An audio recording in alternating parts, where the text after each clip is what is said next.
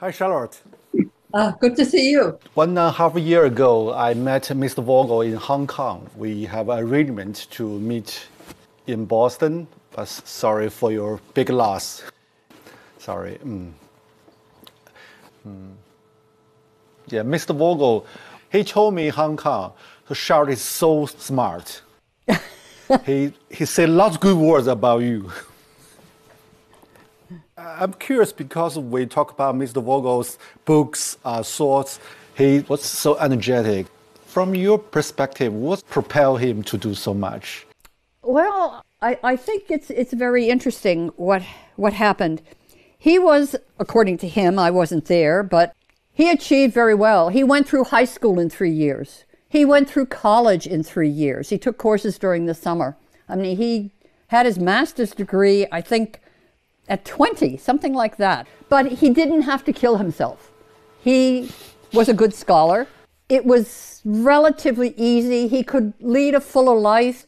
And I think what might have kind of kicked him into high gear was when he came back from Japan, he had a job offer from Columbia. And so he and his wife decided sell the house and, uh, you know, think about moving to New York.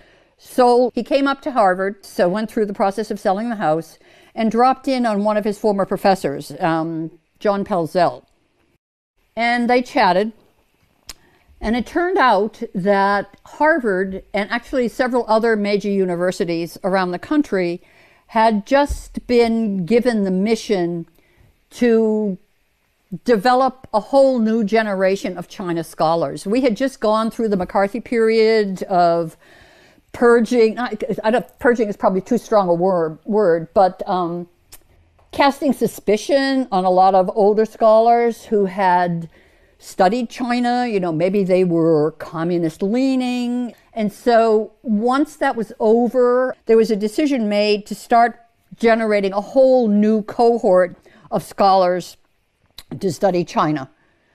And Pelzel said to Ezra, You, you know, would you like to do China? Ezra had never taken a China course, didn't speak Chinese.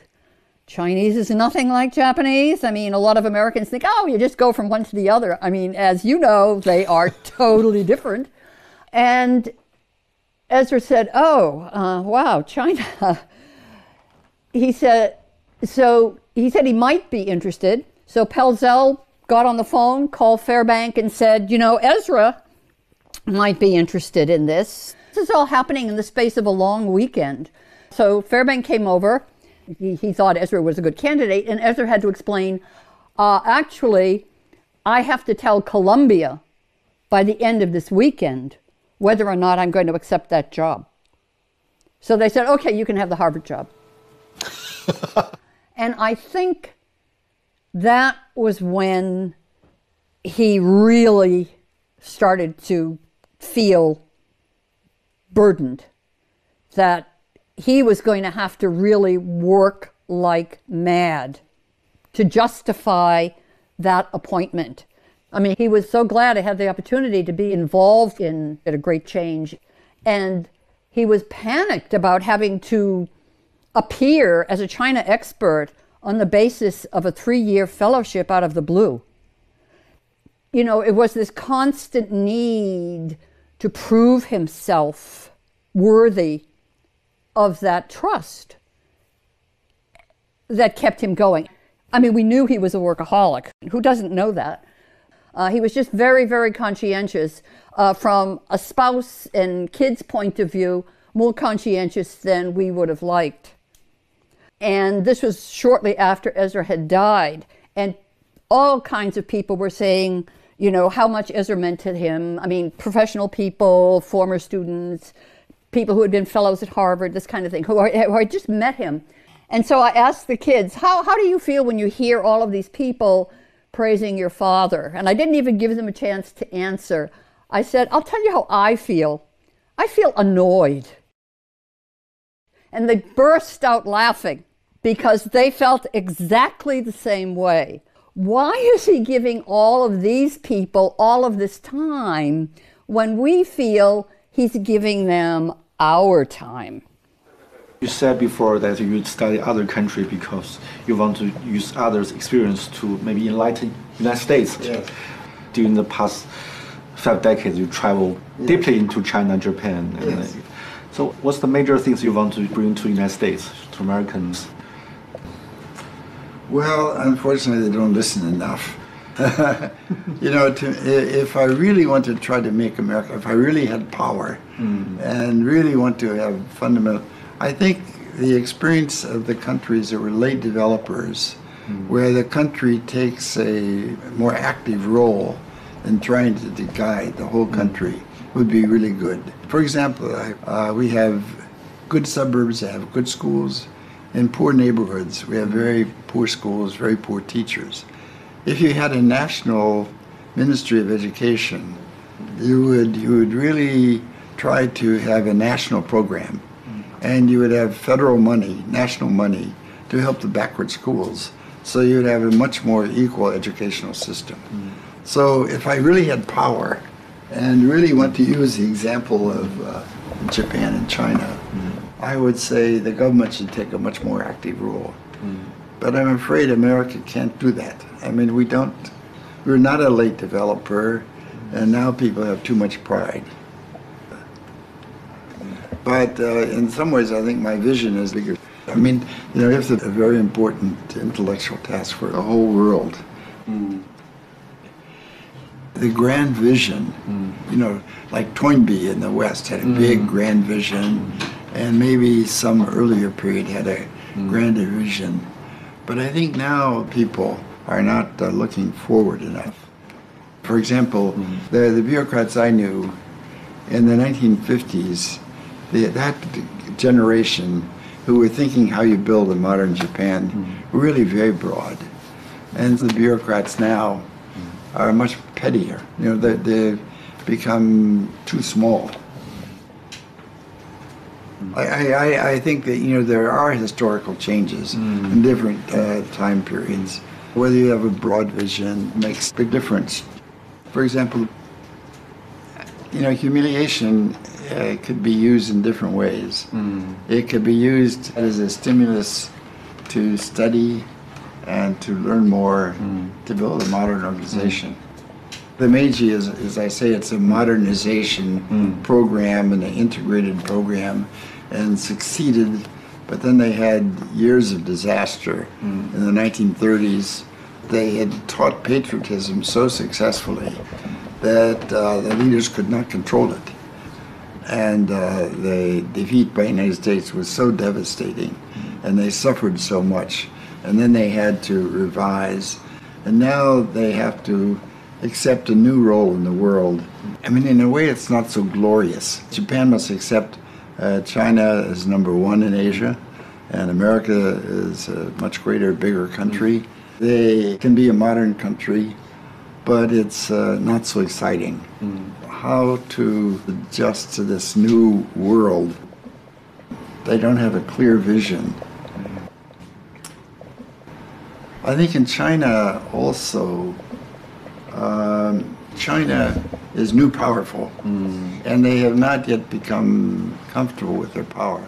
Now, when they go to many other countries, uh, some of the instinct is, look, we're the big shot. Please listen to us. Mm. There are some people like that, mm. and some other people say, now to get along as we expand, we cannot be too proud. That is a good way. But my impression is that they use a lot of slogans, but they haven't tried to be systematic. They did not have an overall systematic plan about learning from the world in every single area geography, local customs, the value system, the religion, the family structure, how to use, how to persuade, and how to have deep understanding of people, their deeper feelings. Uh, for example, in the United States, propaganda is not a good way to persuade Americans. In the long run, this will not succeed very well. So they do not have yet the mature vision about how to adapt to the rest of the world as they grow. From uh, America point of view, um, I think after World War II, in a way, it was kind of a peak. Uh, we were the one great country in the world uh, with modern industry.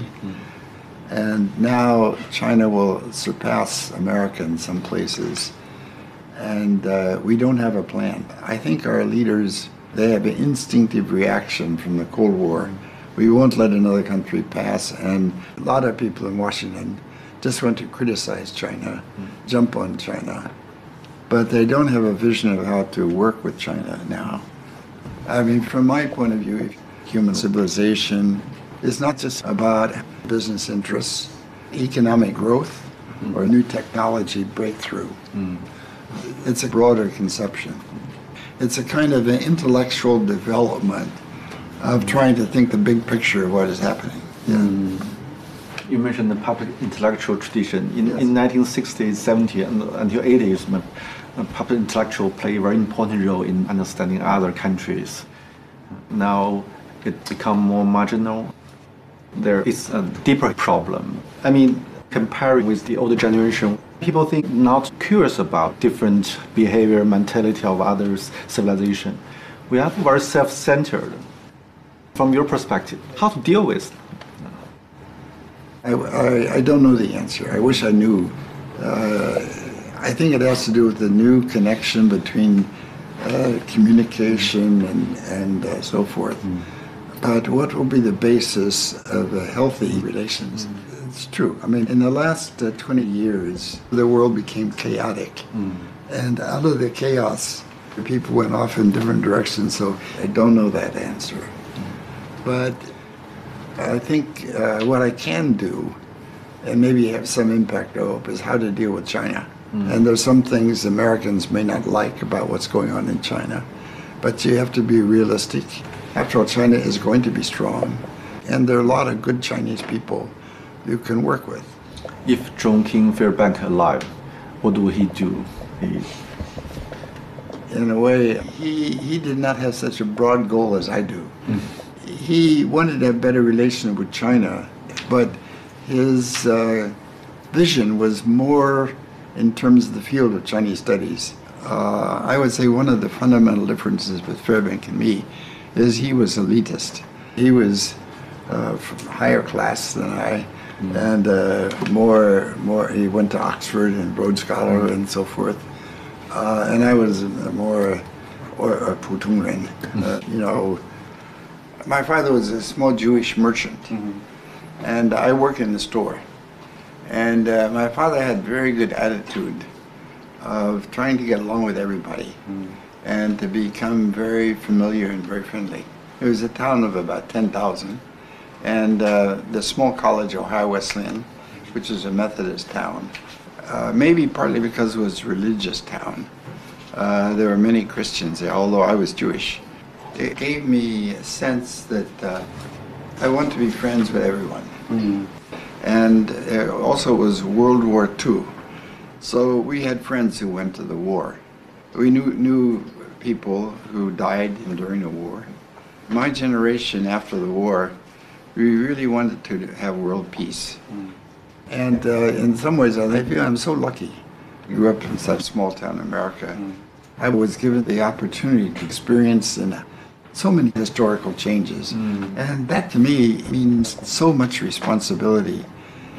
Not because I thought that was so important, but because I thought the relations were so bad and I really want to make I mean that's that's the honest way. I, I re- really want those people to get along because there's so many good people in both countries. And there ought to be a better way and I and I knew a lot of people. I want them to get along. So maybe maybe I'm uh, immodest. Maybe I'm not correct. But uh, I think uh, I have a contribution to make. So, do you think, I mean, there, there was a golden age between China and the United States, but now we have so many different complex between each other. So, I mean, the, the, the transition, how how the transition happened, it's, You know, of course, you know, every country like China and the United States is big and we have many different people. You know, the extreme right is, uh, the extreme leftists. They don't have the confidence and the vision to really develop a understanding of each other. So how have to find a new path.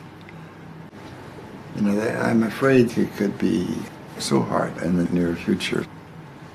But, well, it's also, you know, I think of the missionaries. Uh, I give you one example. I knew a Guangdong a guy, a guy named Yang Mai.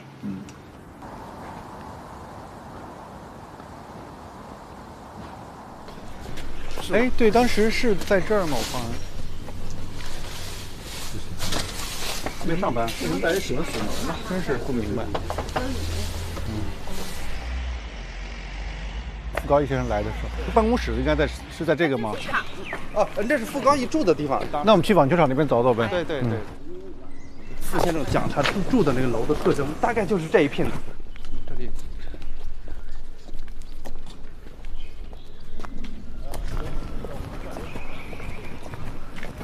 他那房子已经拆了是吧？等于是。看这这个楼不太确定是哪一个。看照片。这是有照片是吧？哦，这是，应该是没没有拆的。这个有这个照片，基本上等会儿就能判定这个楼绝对没拆，没拆啊？是不是就是这个？有可能是不是这个呀？真有可能，好像就是吧？感觉有点像。这个是有前面的门廊的吗？就是好像。So what's your first impression on Guangzhou? I mean, in 1980, you went to Guangzhou together. Yes, that was part of a Harvard alumni tour, which, believe it or not, was doubling as our honeymoon. We had gotten married only a month earlier, and he thought this would be so exciting. We could spend our honeymoon in China, but it seemed very tense. Um, we just felt that people were very nervous around foreigners. I mean, we were Americans. We hadn't, well, we had only recently established diplomatic relations. Um, so I, I just think, you know, nobody quite knew how friendly they should be. You know, we both love interviewing, we both love hearing what people think about situations. I mean, it broadens your own perspective. But we had different objectives. He was trained as a sociologist. He was interested in the macro level. How were these major changes taking place? Hmm. How was policy developed? This kind of thing. I'm an anthropologist. My primary data source is the ordinary person. What is their take on what's going on? Mm-hmm. And so, in a way, we were able to integrate. He would, you know, in the evening, he could say, Wow, I interviewed, you know, Vice Governor so and so or the head of Bureau so and so. And and they said blah blah blah blah. And then i'd say oh well you know i interviewed these three families but um, people were very nervous. He was never a person who you know was celebrity conscious but he began to realize that he had access that a lot of other scholars do not have. And he did want to use that to benefit everybody, not just the United States, but specifically to promote good relations between the US and China. You said you try to be kind to everybody, to, Yes. yeah, to make friends. Yeah. Is a problem maybe sometimes you'll be less critical to the subject, to the Sometimes I may not, uh, I may underestimate their evil intent. uh, it's possible. Um, just bad people. I, even bad people, I try to understand. You know why why they want to do those things. Are they uh, really so completely bad? Maybe maybe I don't uh, uh, describe the evil uh, as much as I should. you prefer the better angel. Well, I, you know, my, my, my approach is to try to understand why people mm. do what they do. Mm-hmm. So I can sympathize with a broad range of people who have different, different ideas. Mm-hmm. Well, okay, uh, towards Trump, it's hard to be sympathetic toward Trump. Also, also this year is the 40th anniversary of Japan's number one. Now looking back, during the half century about Asian story. First is Japan Miracle, the story, then Four Little Dragon, Yes. then China story. Yeah. You are so good at picking topic. what's, the- what's the secret? Yeah. Why I picked them? Hmm. Uh, part of it is luck because Once is luck, two, twi- two times maybe luck, but so many uh, years. First of all, I tell you about Japan. Hmm. You know, before I went to Japan, mm-hmm. I had about one year when I knew I hmm. would likely go there. So at that time, there were not many good social science studies. Hmm. So I tried to read all different disciplines. I read history, economics, uh, political science, hmm. tried to get a broad background. Hmm. And then I tried to find some particular study where I could go deeper. I'm not a historian. My PhD thesis is on uh, families of Irish American, Italian American, old American families, and emotionally disturbed children. So when I started out in Japan, I first started to study uh, mental health of children. But then one day, one of my Japanese uh, families said, you know, there's a difference between salarymen and uh, other families. And that lit up a light. That's really interesting. It's a sort of openness to the big ideas. The, the, the new middle class did not mean just they just got rich. It meant that the structure of those families' life when they worked for a big organization was very different from the independent business people. So as a whole structure became a new topic. So on the way to Japan, uh, I visited, uh, my wife and I had never traveled abroad. So we wanted to see the world. So in those days, you could get an airplane ticket and stop in every country. And when I went to England, this is 1958, there were still many rubbles on the street mm. from World War II bombing. Mm. And Japan was already cleaned up. Mm. It was very poor. Even the main streets uh, of Tokyo, to me, were like alleys.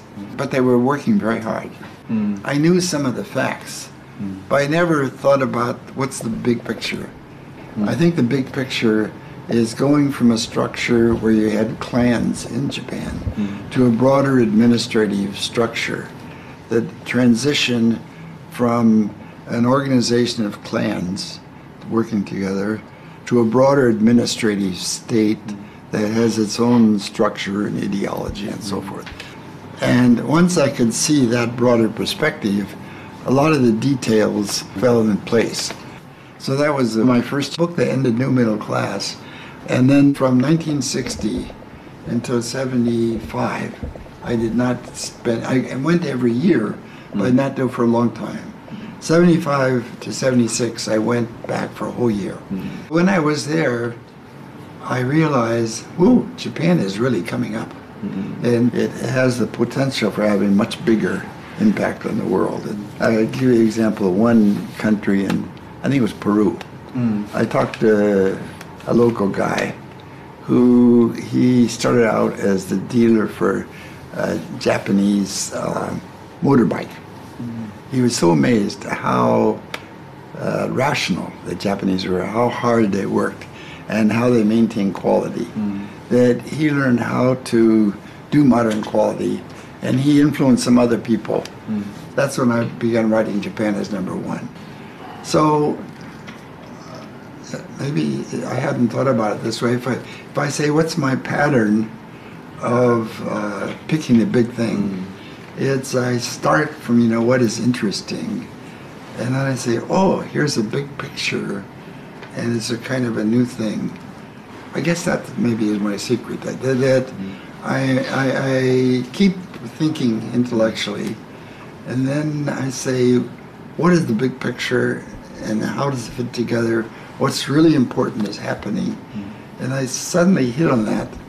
And that, that, that I think the, the, the big books I wrote, Japan is number one, and uh, Deng really came from that. Mm-hmm. Yeah. I'm so curious uh, how to keep your, I mean, energy, keep your ambition. I mean, still try to engage something big. So, what's what's what's the motivation? Well, I'm not very happy in the United States what happened to political science and sociology. In the last uh, 20, 30 years, uh, they have become, they want to be scientific. And uh, they can use new quantitative measures. get a sample of 5,000 and they, this is correlated to this.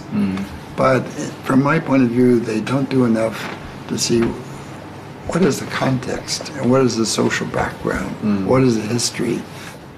So the kind of research that I like, where you really get to know people and see historical context and see broad context, is not so popular.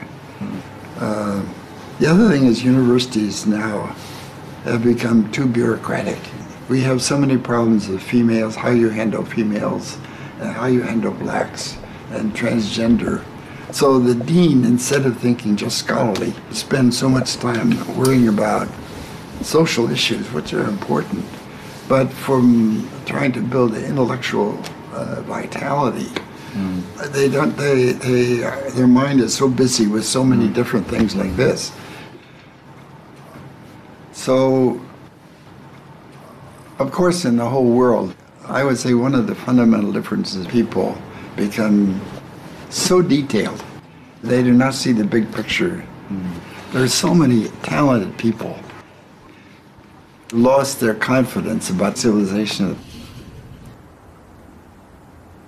the exchange with people whose experiences are different from one's own is very illuminating. There are other ways to think. And I think that right now, that kind of attitude in this country is so necessary. Right now in the US, we are so divided that we cannot come to the middle. I mean, Ezra wrote China and Japan Facing History. Somebody needs to write the book now. America, right and left, facing history. Maybe I'll write that. No. But uh, no, it's, it's uh, people are so close minded. And the sad thing is, it's not just the other side, it's one's own side. You know, we're not willing to even talk. Um, when Trump won the election, I was surprised. But I immediately looked for all the books that I could find that related to what the other side might be thinking or experiencing and that might contribute to my understanding of why this was happening. Yeah. And I spoke to some to a good friend. Oh, you know, I'm reading this and that and the other thing and trying to understand the other side. And she just looked at me and said, "Why would you want to understand the other side? They're all racists." End of story. And this is an intelligent person hmm. whose opinion I normally respect. And she's still my very good friend. But wouldn't, I mean, why would I even try to understand another side? Surprised her. Hmm. People are just absolutely closed. That's, we don't need that. We don't need that in, a, in the same country. We certainly do not need that mm. between China and the mm. US. People need to understand why there are different points of view and how can you find a middle ground. I mean, we both sincerely wish people could listen to other people and respect their opinions, or at least understand them. Mm. So you discuss the issue with Ezra a lot? You Oh, very yeah. often? Well, I wouldn't say a lot. I mean, you know, we're sitting there at the kitchen table. I'm reading the Boston Globe. He's reading the New York Times. Now I have to read the New York Times myself. Um, And I'll say, oh, did you see this story on blah, blah, blah? Or Trump is doing XYZ. Yeah, I mean, we would discuss them like that. Or something terrible. I mean, I am so glad. I mean, it's just going to sound stupid. I'm so glad he didn't see January 6th. It would have broken his heart.